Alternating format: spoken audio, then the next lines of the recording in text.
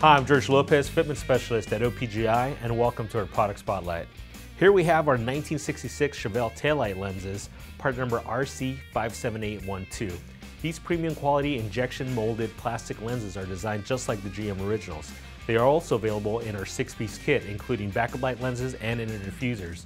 That's part number R25686. This has been an OPGI exclusive manufactured part for over 30 years. For more info, visit opgi.com.